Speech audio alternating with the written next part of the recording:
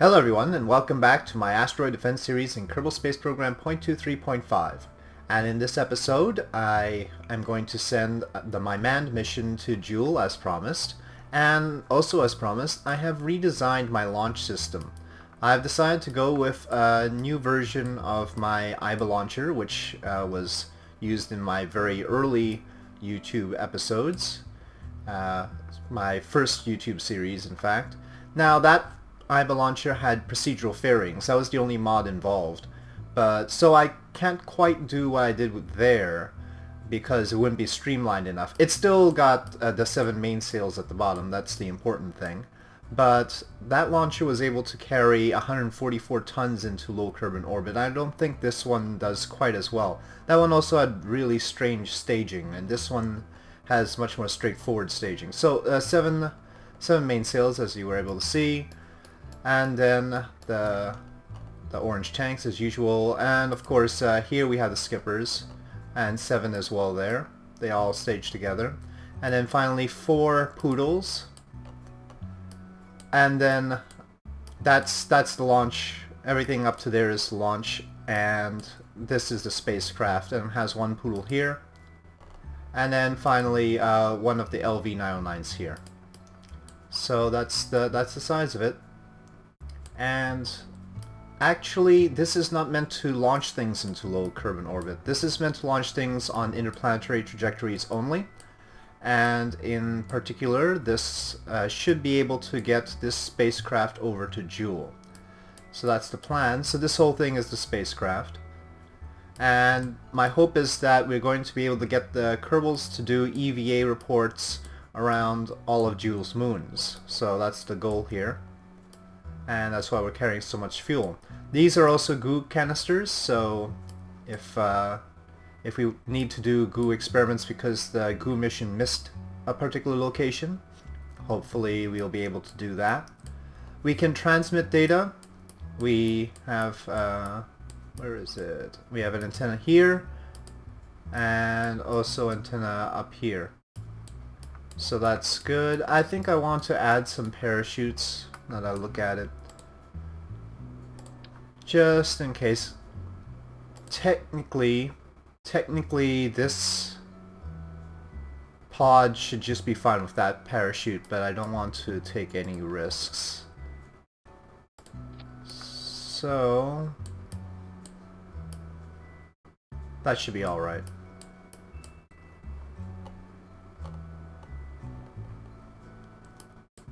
Also, perhaps some battery power. I think I was pining for battery power here. Let's get... No, let's get the small ones.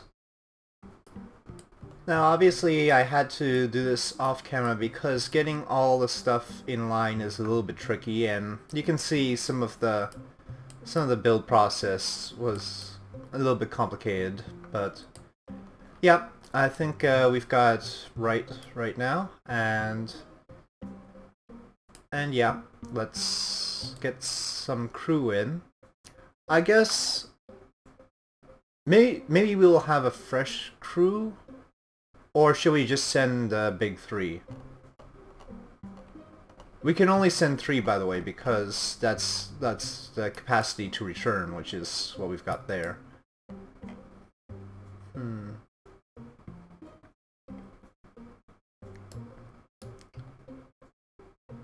Yeah, I guess we'll send the big three. They'll have uh, extraordinary voyage around Jool. Alright, so without further ado, let me just check if I forgot anything. No, I think we're okay. Hopefully I've got everything calculated out right. So let's just take this out to the launch pad. And I've just named it Explorer on the new version of the IBA launcher. So that's what it'll be. Can't land on anything, unfortunately. That's not... Because uh, we're planning to do a grand tour of Jool's Moons. We're not planning on landing anything yet. But perhaps on a future mission we'll aim for a landing. And perhaps uh, with this launcher we can add a lander for, for a Duna mission. This will probably be able to send the lander over to Duna. And the added complication was that I, I was thinking about making a lander, but the problem was we don't have docking ports yet. I could theoretically have the grabbing unit do things, but that seemed a little bit iffy. But yeah, we don't have docking ports yet, so uh, this mission, among others, will be going out there in order to get the science so that we can lock, unlock docking ports so we could do a proper proper lander mission in the future. Alright, so out to launch pad. Okay, here you can see the assemblage in all its glory. And SAS on, throttle up. Uh, I think uh, I think we can do a countdown because we've got all three of the big guys here. So we'll say, uh, yeah, T minus 10, 9, 8, 7, 6, 5, 4, 3, engines running, 1, commit, and lift off. We have liftoff of the Explorer to Jool. The launch tower is clear.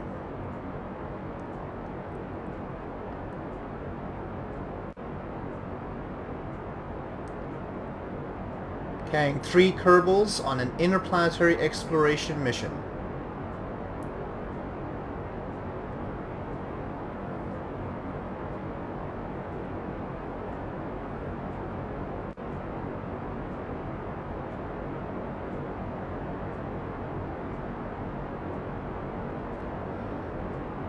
All systems nominal.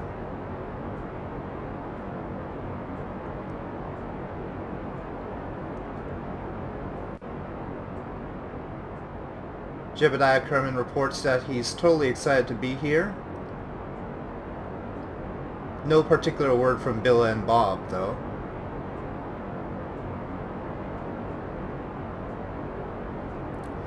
Okay, beginning gravity turn here.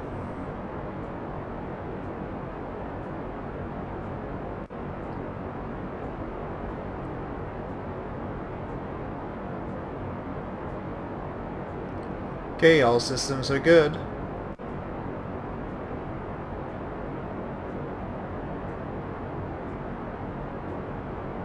Getting ready for first stage separation.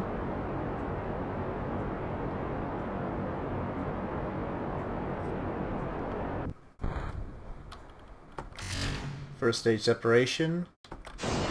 Second stage lit.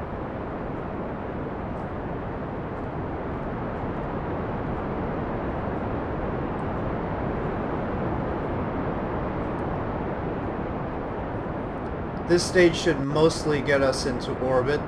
The next stage will probably circularize us, assuming all goes well.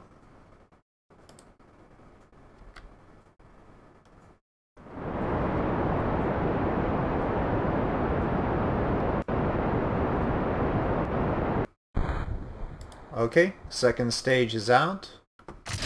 Second stage separation. And I think we'll like the third, third stage for a little bit. Very nice. okay. So we'll boost up to 100 kilometers, let's say 120 kilometers actually. Because we need uh, a smoother orbit to have a longer, uh, to have the burn time for the interplanetary injection. Okay, so 120 kilometer apoapsis. Let's take a look and see if we can make a direct transfer. It's possible. Now of course we're sending the big three over to Jool, which is of course the more juicy target with all its moons and everything. We'll have to send a different group of Kerbals over to Duna. And remember the Duna encounter is pretty soon too.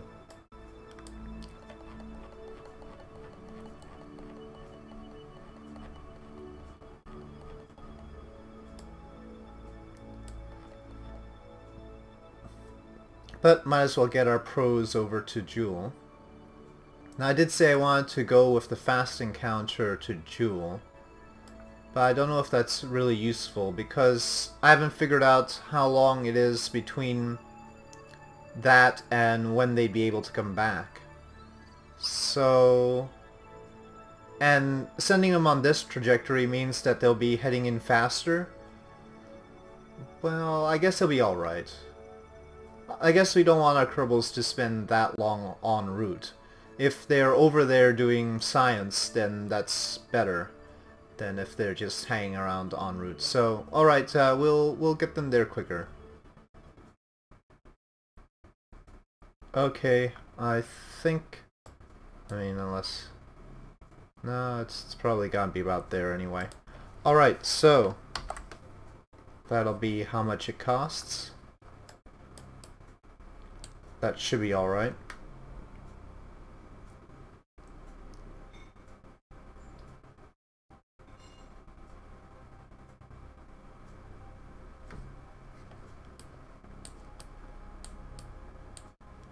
Let's get solar panels out.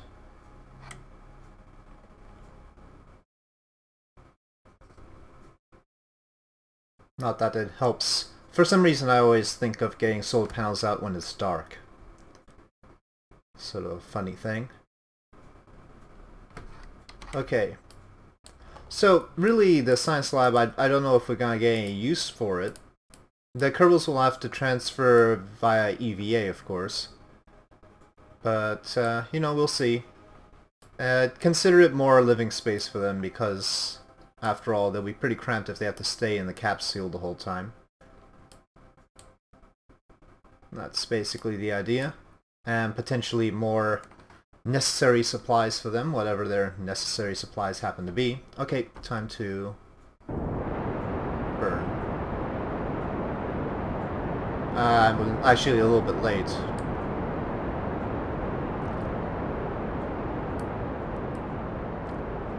You notice there is fuel cross feed, so I'm going to dump these outer ones first.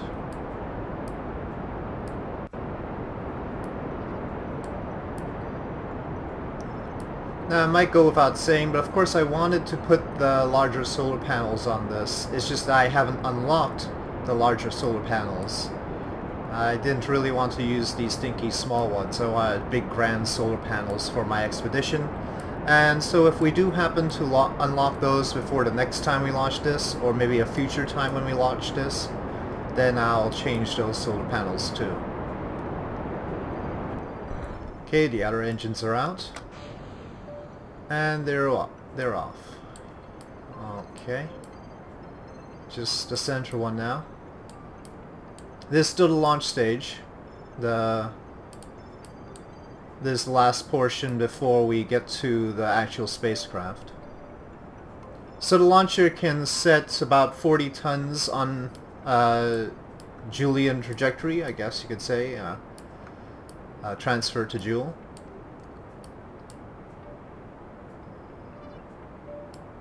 And this is a little bit shy of that. How much are we right now? We're 66 tons. So maybe it can actually set more than 40. I'm, I'm underestimating. Because this is a 18 ton tank and the engine's only 2.5. So a little bit more than uh, 40 tons over to Jool.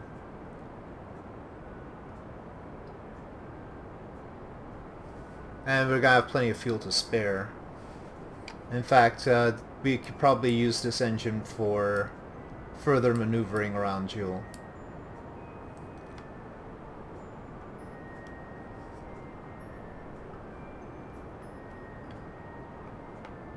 Or doing the mid-course plane change, that too. We are deviating a little bit because I started burning a little bit late.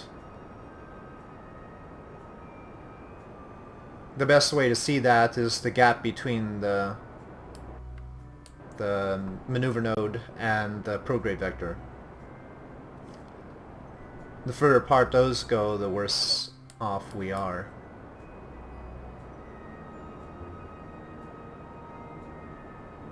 Okay, I sense at this point some tweaking might be necessary. As we don't seem to be getting our encounter. and instead boosting to Eeloo for some reason. So let's uh, add a little tweak here.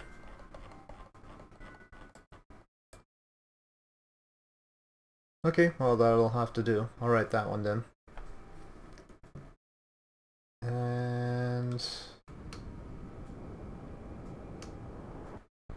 Oh, jeez. We actually expended that stage. Well, that's not good. We're probably a bit too heavy then. Mm, RCS, please. Okay.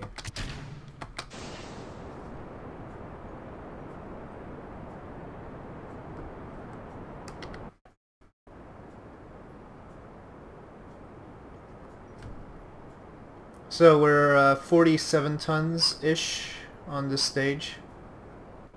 And I guess that's a little bit too heavy for the launcher.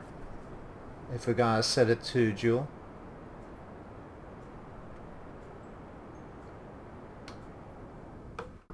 Okay. So that's good enough. Let's see how much the mid-course plane change will be. Well, it could be worse. 208 for a periapsis of 12,000 kilometers. That's reasonable. Okay. I think we will go with that. So, that'll be in 22 days as the spacecraft crosses the orbit of Duna. And then we'll have to aerobrake at Jool, which should be an interesting experience for the crew. And then everybody will be happy. So, this is our spacecraft. Very, very interesting, I think. And again, the fuel from these feeds into this one and they can be dropped off, saving the mass of the tanks. And yeah, Bill, Jeb, and Bob on their epic quest to discover what's out there in Jool and its moons. And they'll get as close a look as they can without actually landing on the surface of these moons. And with that, I think uh, I think we're done for this uh, for this episode. We've done our thing. Uh, maybe. Uh. Well, let's have let me just double check that we can't get any more signs from around here. We actually have, if I can find them, thermometer. And that can't be done. goo experiment I'm sure we've done from high over Kerbin. We're not going to be able to recover this anyway. So, How about a crew report? Yep. Okay, so everything's been done around here. But once we get into... Actually, we could probably do that now. We're gonna get uh, Kerbin Escape in six hours. So let's let's get to Kerbin Escape. And then in interplanetary space, we definitely haven't done any science yet. So let's do that. So time warping. Okay, we're now in interplanetary space with our other probes, by the way. You can see our fleet of probes right alongside here. Probe Launcher Y, the Jool, uh, Jool Goo launch, and the Jool Science Junior launch. Uh, the Probe Launcher Y, the, the probe in the middle of the little aircraft that we had launched. And we actually have one going over to Duna as well. Where's that one? That's one's over there. Okay, so now that we're out here, we can do new science. I don't know if the thermometer will work. The bar barometer almost certainly won't. Nope. Okay, so first of all, a crew report. And we can transmit this data, and we should because we need that docking port and those solar panels. So let's transmit the data. 55 science added, excellent. Let's have Bill do the EVA report. Okay. Let's just transmit that. Oh, right, of course. Board. Now transmit. And voila, 88 science added. Now I know we haven't done a goo experiment out here. Goo feels right at home. And I'm gonna transmit, uh, well, uh, let's, let's hold on that, uh, keep that data. Let's get some people into the lab module now. After all, they should be spending time in there for their long trip. Um, should have aligned the crew, well, they're, they're pretty much in line. Let's get uh, Bob and Bill, I guess, would be the most logical thing. Okay. Should have just made it easy on myself. Uh, oh, oh, oh, oh, oh, come on. Up, up. And just put ladders all the way, but...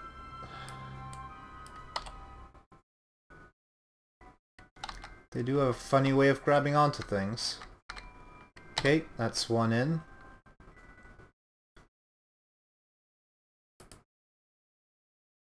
Okay, alright.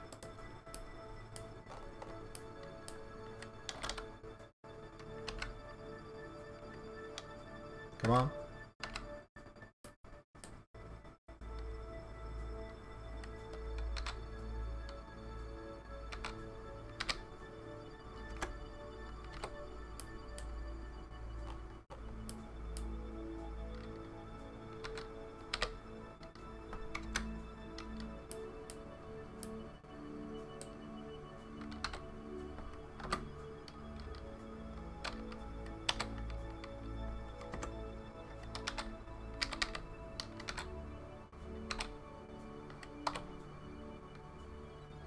Okay, board.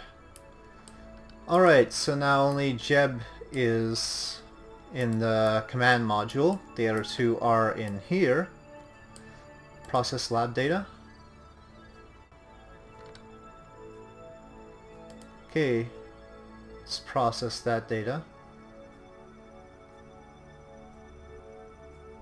And see if we can't send it back.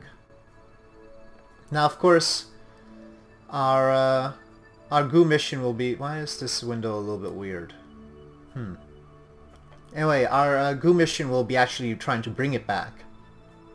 But uh, this time we can just uh, relay it.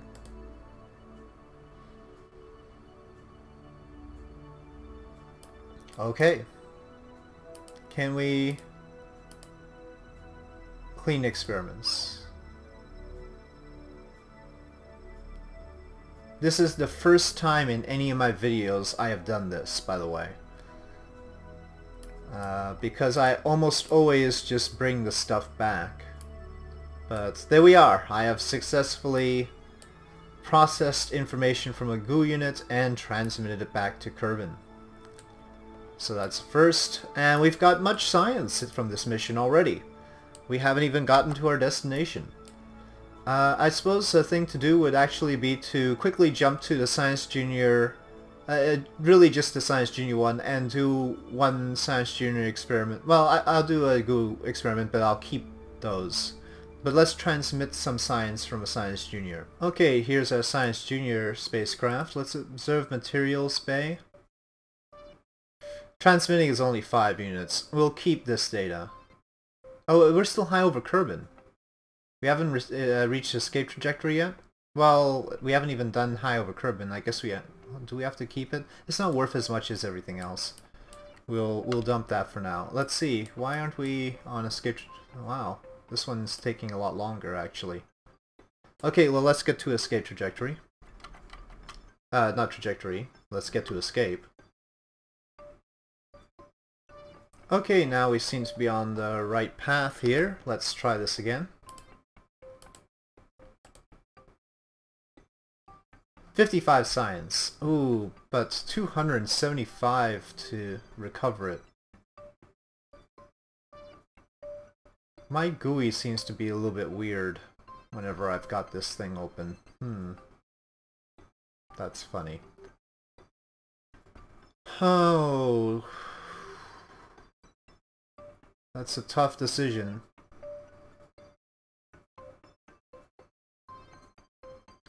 Well, let's go for maximal science. I'm gonna keep the data. And hope that I didn't wasn't really desperate for that 55. You have to do the math here. We've got one to do over Jool and one for each of the plant. Well, actually, we're, we're really short on them. We've got four for four of the moons. So, yeah. Okay, let's go to Goo Experiment just to make sure we have one done high over the sun. Rhymes. But, uh, yeah, so that we can bring that back as well. Okay, green for goo. Very good. And observe the mystery goo. High over the sun. Not worth transmitting apparently. Oh yes, because we already transmitted all the transmittable data. So we gotta keep the 71 science that is recoverable. Alright, so uh, with all that science, maybe we should check the tech tree. Here we are, we've got 238 science now. We pretty much had zero before. And here are the solar panels, but it's 300 science. What I want though is the docking ports.